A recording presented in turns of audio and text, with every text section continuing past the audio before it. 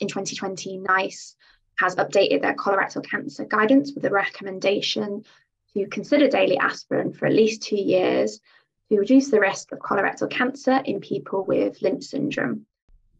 And there are new guidance coming in, which is saying that anyone diagnosed with colorectal cancer and anyone diagnosed with endometrial cancer should now be tested for Lynch syndrome.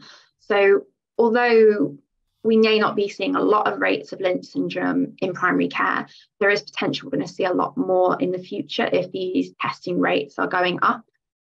Uh, we found in our study that GPs who had prior awareness on the use of aspirin for colorectal cancer prevention before the survey were more significantly more comfortable discussing the harms and benefits of aspirin with the patient. So we're calling for more targeted interventions and training in this area.